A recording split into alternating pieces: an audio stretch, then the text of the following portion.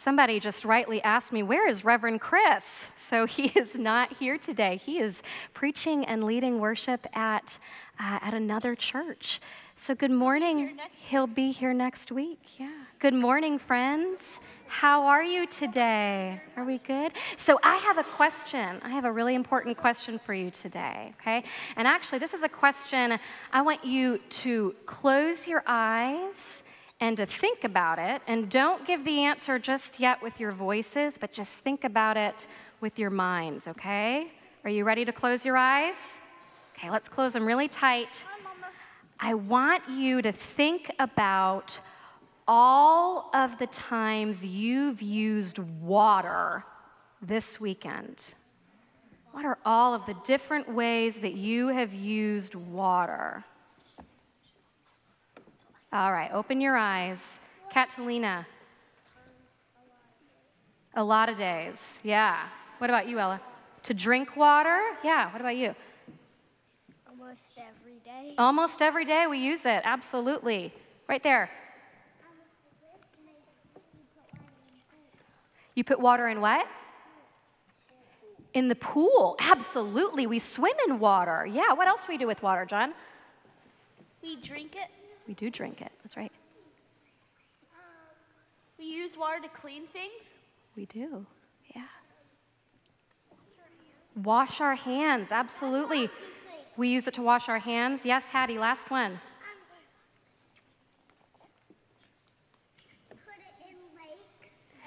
It's in lakes and rivers, absolutely.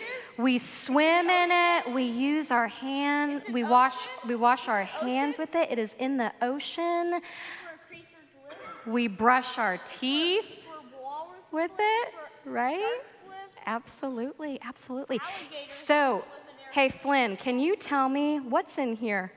Water. Water. There is water in the font. So we use water during baptisms, and we're about to baptize two babies. We're about to baptize two babies, and we use water because God wants us to remember every time we use water, our baptisms. God wants us to remember, oh, yeah.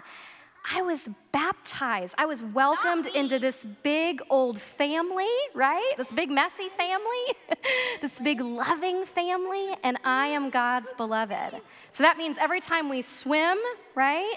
Or brush our teeth, or even every time we flush the toilet, we can think, I am God's beloved, right? I was baptized. Isn't that great?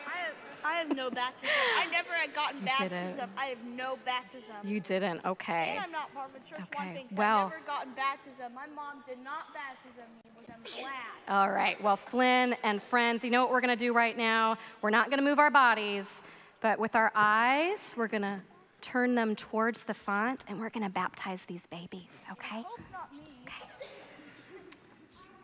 Friends, the sacrament of baptism is a celebration for the whole church as we welcome to the family God's children and claim the promise of our faith that we belong to God.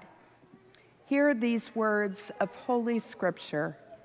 There's one body and one spirit, just as you were called to the one hope of your calling. One Lord, one faith, one baptism, one God and Father of all, who is above all and through all and in all. In baptism by water and the Holy Spirit, we are made members of the church, the body of Christ, and joined to Christ's ministry of love, peace, and justice. Let us remember with joy our own baptism as we celebrate this sacrament.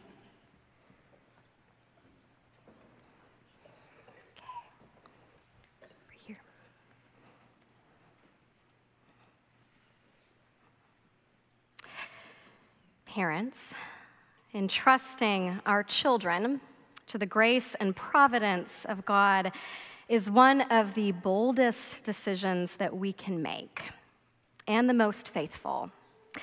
I invite you now to show your purpose by answering these questions. Do you desire that your child be baptized? Relying on God's grace, do you promise to live the Christian faith and to teach that faith to your child? Do you? Do we, as members of the Church of Jesus Christ and representative of Second Presbyterian Church, promise to guide and nurture these children by word and deed with love and prayer, encouraging them to know and follow Christ and to be faithful members of their church? Do we?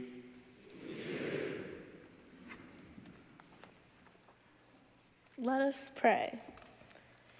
We thank you, O God, for the water of baptism. We praise you that you have given us such gracious promises concerning our children, that in mercy you call them to you, marking them with this sacrament as a sign of your love. O God, set apart this water now from a common to a sacred use. As in humble faith, we present these children to you. We ask that you receive them, fill them with the Holy Spirit, and keep them as your own. Through Jesus Christ our Lord. Amen.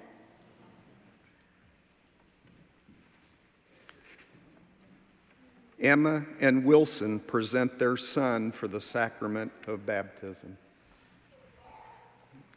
What is the Christian name of this child?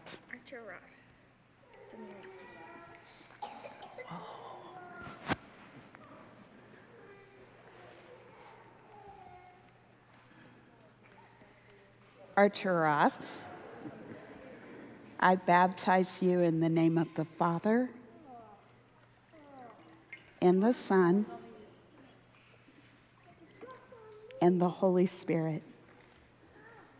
Amen. Archer, you are sealed in your baptism by the Holy Spirit, and you belong to Jesus Christ forever. Archer, for you, Jesus came into the world. For you, Jesus lived and showed God's love. For you, for you, Jesus suffered death on Calvary and conquered death.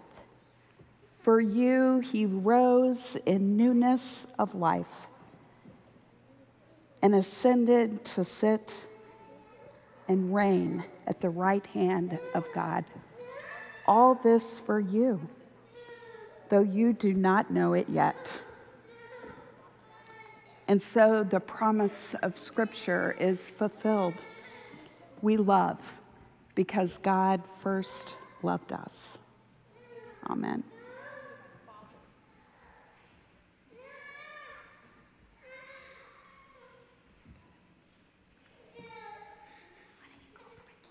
Courtney and Kevin present their son for the sacrament of baptism.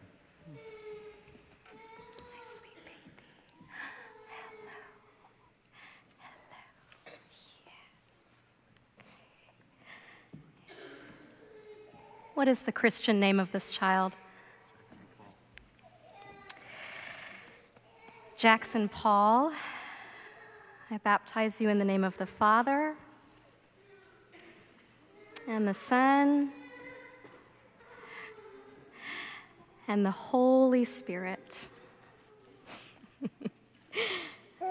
yes, yes. Child, you have been sealed by the Holy Spirit in baptism, and you belong to Jesus Christ forever and ever.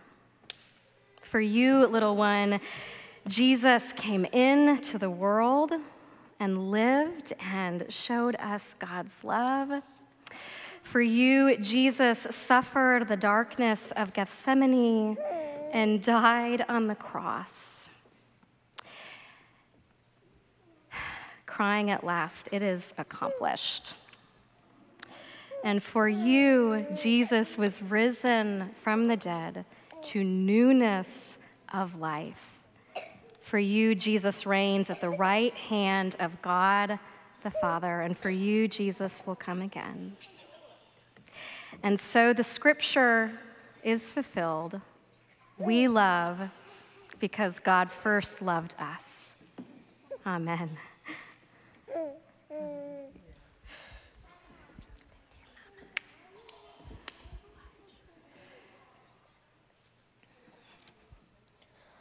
On behalf of the children of the church, I present these Bibles to these children, that they may grow in God's grace. Thank you, Kendall.